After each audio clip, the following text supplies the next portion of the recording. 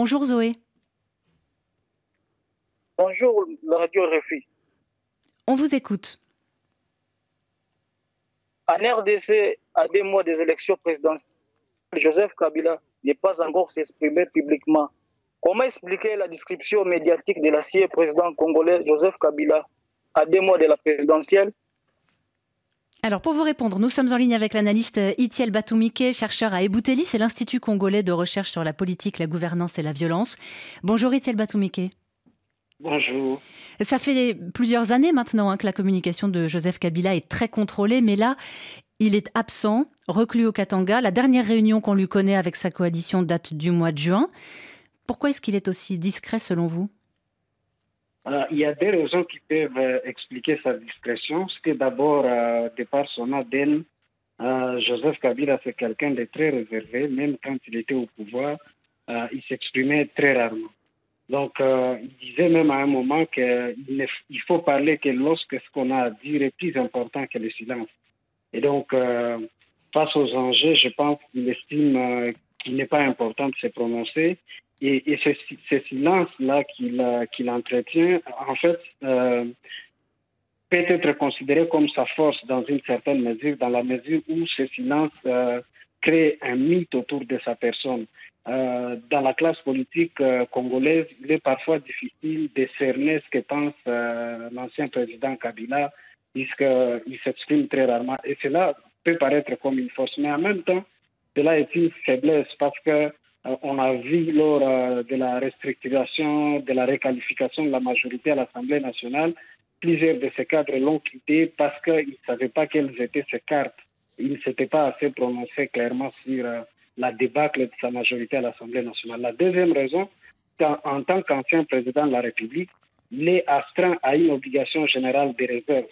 C'est l'article 5 de la loi sur le statut des anciens présidents de la République il lui impose une obligation euh, générale de réserve. Et donc, il ne peut pas s'exprimer euh, très, euh, très souvent au risque de mettre sur la place publique certains secrets d'État qu'il détiendrait de par les fonctions qu'il a occupées par, par le passé. Donc plusieurs raisons et notamment des raisons formelles, officielles. Zoé, vous aviez une autre question pour Étienne Batoumike Mais ouais, quel pourrait être alors l'avenir de sa formation politique, sachant qu'elle Zoé, on vous entend très mal. Vous aviez une question sur l'avenir de la coalition, si je comprends bien, qui semble quand même un peu s'effriter. Vous l'avez évoqué rapidement, Étienne Batoumike, pas de congrès, pas de, congrès, oui, de, de, cette coalition du FCC depuis plus d'un an, plusieurs départs marquants, vous nous l'avez dit, plus de majorité au Parlement, et puis des conditions qui sont posées pour participer aux élections prévues dans deux mois. Quel avenir euh, politique voyez-vous, Itiel Batoumike, pour euh, le Front commun pour le Congo?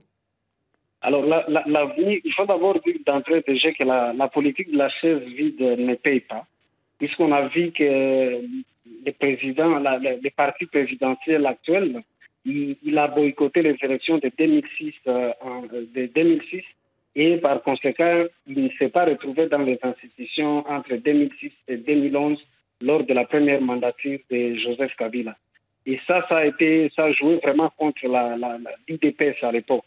Aujourd'hui, euh, le camp de Kabila prend la même posture, mais il sera difficile pour sa famille politique de rebondir parce qu'après, euh, tous les fiefs qui étaient, euh, qui étaient en tout cas euh, dominés par les caciques de, la, l'ancienne majorité au pouvoir seront aujourd'hui partagés entre les membres la, de l'Union sacrée de la nation et ça sera difficile plus tard pour les caciques de, l'ancien pouvoir de récupérer leur circonscription. Euh, cependant, euh, il y a une chance pour, euh, pour le pouvoir, pour l'ancienne majorité, la famille de Joseph Kabila, de s'il y a un, dialogue politique au cas où il y avait, dès que les élections n'étaient pas organisées ou qu'elles étaient mal organisées, s'il y a un dialogue, on peut espérer peut-être qu'il pourrait rebondir et je pense que c'est sur cette carte-là qu'il mise euh, beaucoup, espérant qu'il n'y aurait pas de bonnes élections et que euh, les gens pourraient se retrouver autour d'une table. Peut-être là, ils pourraient rebondir parce que la posture dans laquelle ils sont actuellement semble être suicidaire euh, s'il n'y a pas de dialogue à l'avenir.